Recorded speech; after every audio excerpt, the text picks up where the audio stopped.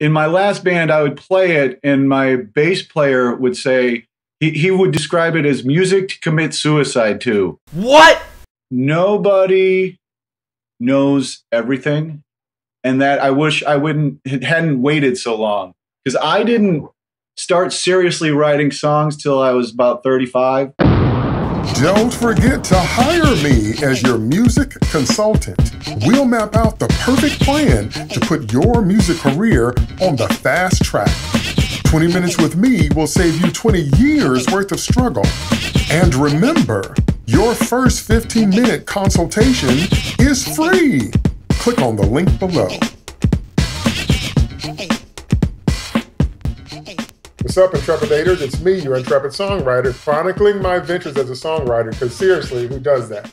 And I'm here to help you get on the fast track. Today on the show, we have a man that I know you're going to enjoy talking to because he brings such great and unique perspectives on songwriting.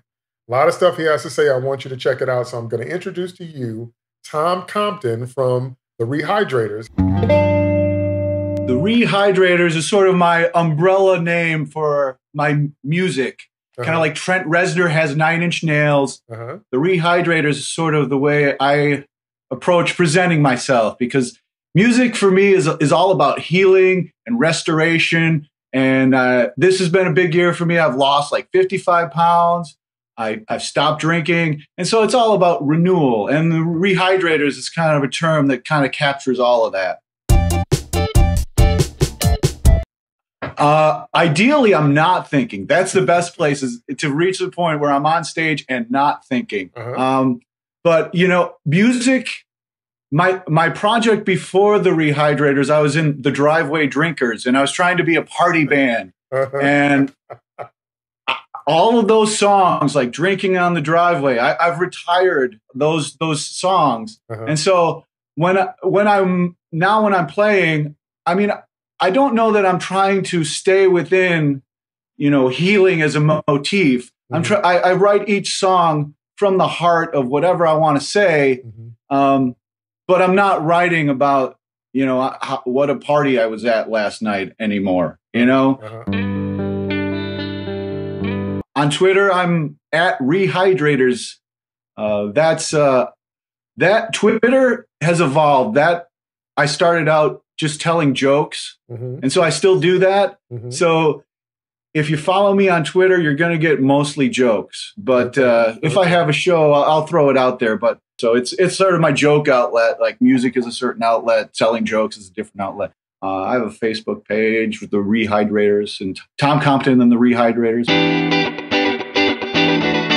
Um, the song that comes to mind off off the bat is uh, one of my older songs. is called "Rest Stop."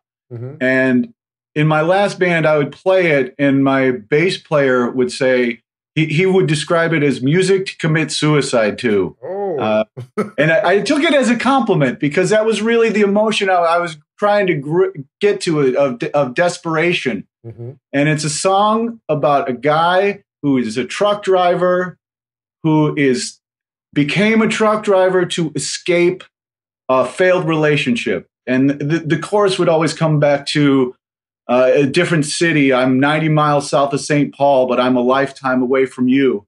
And uh, it would be go to go to different locations, but it would always come back to at the same time I'm a lifetime away from you, and I'm driving a truck to to get away from that Mhm. uh, that that whole dealing with it. So, I, um, but uh, the process with that, you know, what's fun is having different things to spur music, and that was the first song I wrote on my mandolin, and I was just messing around with the mandolin, Mhm. and I just followed it, and I'm I'm I, I'm not much of a mandolin player, Mhm. but that's the mandolin has that, that high kind of desperate sound to it to me and that was what kind of came out of just playing around with the mandolin Because that is a I'm primarily a lyric. guit- That's a great lyric. I want to tell you.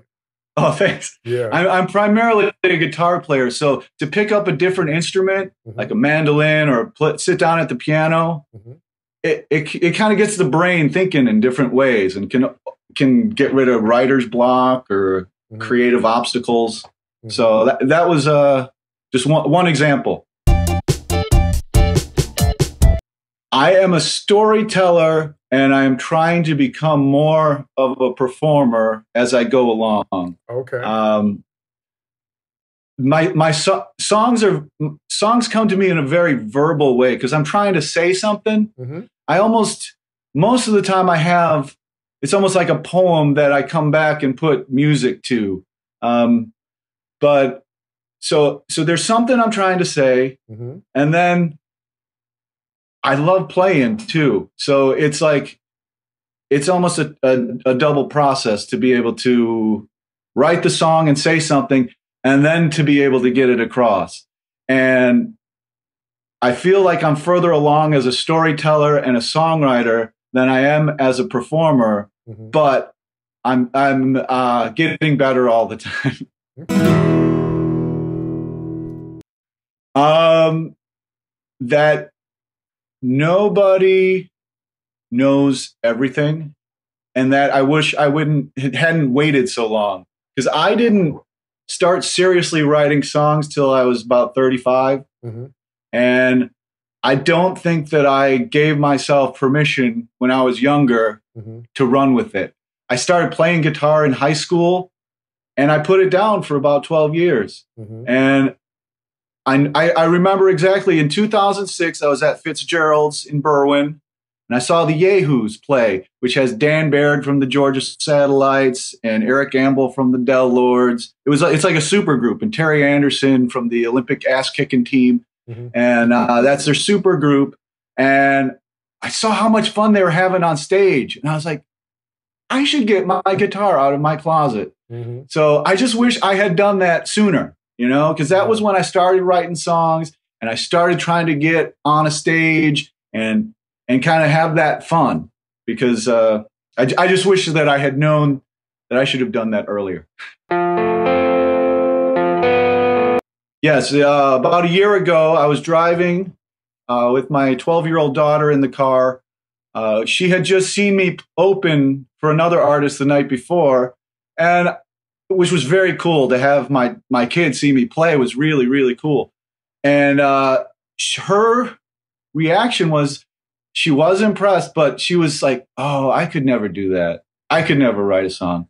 And that really struck me. And I said, I was like, "Oh, yeah, you can, you can," and I because I believe everybody has music in them, hmm and some people it comes more naturally to. Mhm. Um, but I think every it, it resonates, and I think that's why we're the people connect with music because it's there.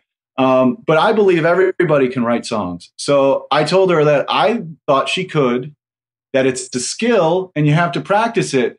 But I did not. I, I don't believe that she should have told herself that she can't do it.